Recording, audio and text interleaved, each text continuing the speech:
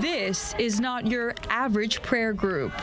We're making our voices heard and, and our right to be heard as women who want to pray. Meet Women of the Wall, a group that says they're on a mission to fight for women's rights to pray out loud with tefillin and Torah scrolls at the holy site, though others see them as controversial. There are certain um, mitzvot or, or commandments that women are not obligated to, um, to do, but we don't think that means that they're not allowed to. So those who take it upon themselves may do so, but the Orthodox see it differently. They think that we're not allowed to and we're breaking kind of the Jewish law. At the wall, it's a struggle, and we're the ones leading that struggle. The situation is sparking fierce opposition from more conservative streams of Judaism, who make up the majority of the worshippers.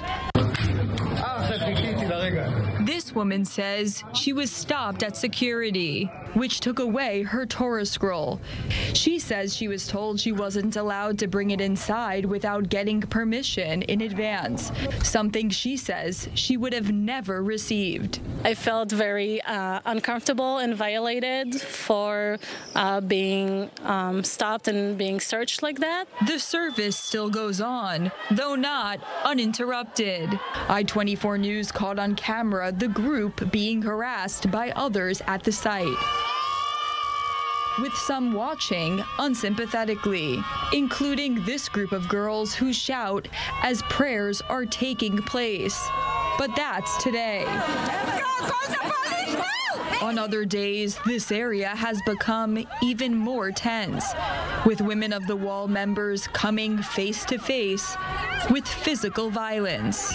But what's the heart of this conflict, which at times looks like a religious war? The Israeli Orthodox Jewish religious establishment is against Women of the Wall's services. i24NEWS spoke with Rabbi Dov Halbertal. They shouldn't be allowed to do it. What's being done is extreme. It's outside the framework of Judaism.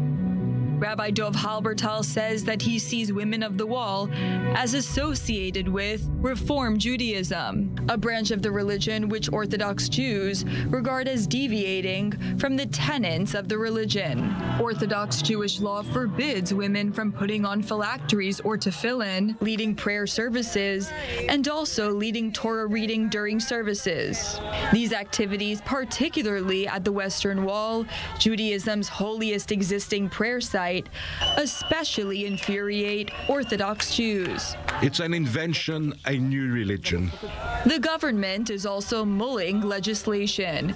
Though it is currently frozen, a bill that was put forward by Israel's religious Shas party bans ceremonies that involve taking out a Torah scroll and reading from it, or wearing tefillin in the women's section, two key activities of Women of the Wall.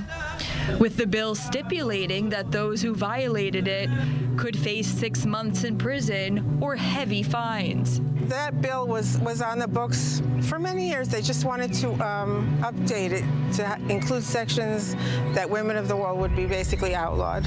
It's a bill that even Orthodox rabbis have spoken out against. I'm very against it. I am in general against giving more power to the religious and ultra Orthodox parties. But the struggle of Women of the Wall goes outside of the main area of the Western Wall itself to the fight for the egalitarian prayer section, with an agreement to renovate and formalize the mixed gender prayer space long frozen.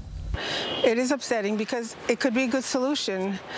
We'd have our space, they'd have their space, and we wouldn't have to be um, in this conflict every single month. Women of the Wall are concerned over an escalation in violence. Eventually, there will be bloodshed unless something changes. In the meantime, the situation is continuing with no solution in sight.